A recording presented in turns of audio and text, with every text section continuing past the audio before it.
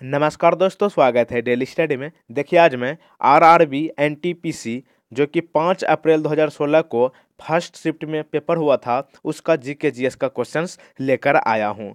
दोस्तों, अगर आप डिटेल्स में क्वेश्चंस आंसर्स देखना चाहते हैं तो मैंने रेलवे स्पेशल एक एपिसोड शुरू किया है। अगर आप नहीं देखे हैं तो इस वीडियो के नीचे मैं उस वीडियो का प्लेलिस्ट का लिंक दे दूँगा, वहाँ से आप देख लीजिएगा। वहाँ पर आपको डिटेल्स में सारे क्वेश्चंस का आंसर्स मिलेंगे स्पेशल रेलवे के लिए। डिस्क्रिप्शन में लिंक दिया गया है, वहाँ से देख लीजिएगा। इसमें फटाफट देख लेते हैं क्वेश्चन और आंसर तो पहला प्रश्न है, जड़त्व का नियम किसके द्वारा प्रतिपादित किया गया था? यानी कि रूल ऑफ़ इनर्सिया जड़त्व का नियम को क्या कहते हैं?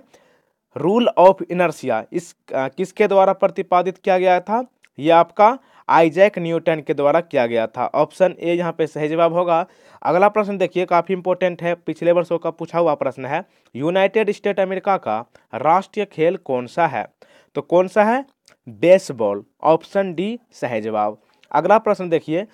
अल्फ्रेड नोबेल ने किसका आविष्कार किया था? तो अल्फ्रेड नोबेल बारूद का आविष्कार किया था। Option C. दोस्तों, ये पूछा हुआ पेपर है पेपर का क्वेश्चन है। ये रेलवे के द्वारा स्पेशल जो आंसर की जारी किया जाता है, ये वही वाला है। पूरा वीडियो को देख लीजिएगा।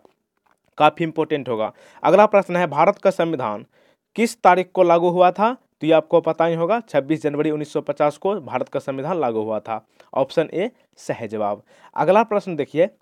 दादा भाई नौरोजी को गणित एवं भौतिकी विज्ञान के प्रोफेसर के रूप में कहाँ नियुक्त किया गया था? तो कहाँ नियुक्त किया गया था?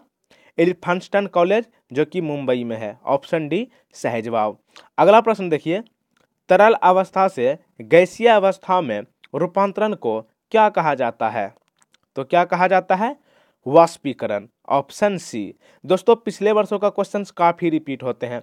अगर आप पिछले वर्षों का और ज़्यादा क्वेश्चंस देखना चाहते हैं तो वीडियो के नीचे लिंक दिया गया है R R B N T P C उसमें आपको सारे क्वेश्चंस मिल जाएँगे पिछले वर्षों 2016 वाला। उसको ज़रूर देख लीजिएगा।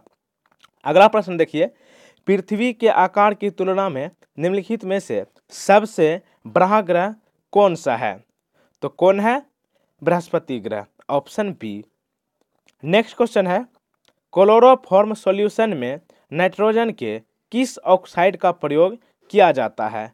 तो किसका किया जाता है? नाइट्रोजन पेंटोक्साइड ऑप्शन डी अगला प्रश्न देखिए। एक कंप्यूटर प्रोग्राम जो सोर्स कोड को ऑब्जेक्ट कोड में बदल देता है, उसे क्या कहा जाता है? तो क्या कहते हैं?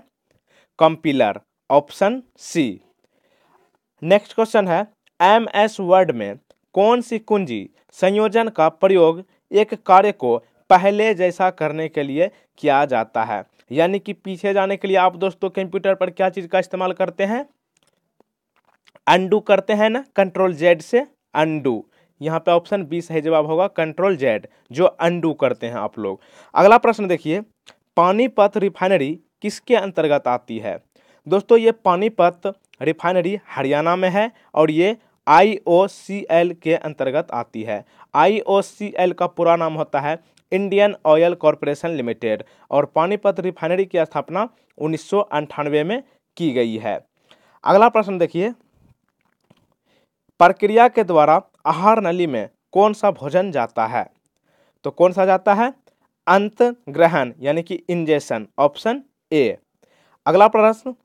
1971 से पहले भारत पाकिस्तान युद्ध किस वर्ष हुआ था? तो दोस्तों, आपको पता होगा कि भारत और पाकिस्तान के साथ एक बार युद्ध कब हुआ था? 1965 में। ऑप्शन डी, और उसके बाद हुआ था 1971 में। 1971 में युद्ध का कारण था बांग्लादेश, जो कि अब नया एक देश है बांग्लादेश। इसी के लिए हुआ था उन्नीस सौ इकहत्तर में भारत और पाकिस्तान का युद्ध।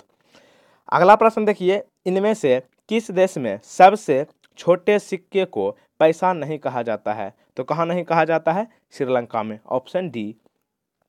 नेक्स्ट क्वेश्चन है, परमाणु विखंडन किसकी प्रक्रिया है? तो परमाणु विखंडन किसकी प्रक्रिया है? एक भारी परमाणु नाभिक के उपखंड ऑप्शन बी और दोस्तों, आपको बता दें कि चैनल पर नए हो तो चैनल को सब्सक्राइब कर लीजिएगा और बेल आइकन को प्रेस कर देना है क्योंकि मैं इस चैनल पर इसी तरह का वीडियो अपलोड करता हूँ रेलवे से संबंधित। बेल आइकन को प्रेस ज़रूर करना है। अगला प्रश्न देखिए, भारत की जनगणना दो हज़ार ग्यारह के अनुसार सबसे अधिक आबादी वाला राज्य कौन सा है?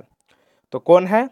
उत्तर प्रदेश। ऑप्शन सी अगला प्रश्न देखिए टॉक्सिकोलॉजी किसका अध्ययन है? काफ़ी इंपॉर्टेंट है टॉक्सिकोलॉजी ये आपका जहर का अध्ययन है, यानी कि पॉइजन का? ऑप्शन बी नेक्स्ट क्वेश्चन देखिए। आईएसआई का पूरा नाम क्या है? फुल फॉर्म क्या होता है? आईएसआई का? Inter services intelligence option A next question Tawang मठ कहाँ स्थित है? तो ये कहाँ है? त्वांग मठ अरुणाचल प्रदेश में ऑप्शन सी। दोस्तों, आपको बता दें कि डिटेल्स में अगर आप क्वेश्चन आंसर्स देखना चाहते हैं तो लिंक को ज़रूर चेक कीजिएगा। वहाँ पर स्पेशल रेलवे के लिए क्वेश्चन आंसर्स पिछले वर्षों का फुल डिटेल्स में दिया गया है। उसको आप ज़रूर देख लीजिएगा। अगला प्रश्न देखिए। भारत में श्वेत क्रांति का जनक किसे जाना जाता है? तो श्वेत क्रांति का जनक किसे कहा जाता है? वर्गीज कुरियन। ऑप्शन सी ये तो प्रश्न काफ़ी बार पूछा गया है, भारत में श्वेत क्रांति का जनक। ध्यान में रखिएगा, वर्गीज कुरन। अगला प्रश्न देखिए।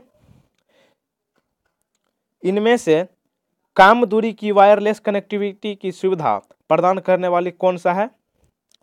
तो आपको पता होगा ब्लूटूथ ब्लूटूथ का मतलब जो है, काम दूरी की वायरलेस कनेक्टिविटी की सुविधा प्रदान करती है ऑप्शन सी नेक्स्ट क्वेश्चन देखिए।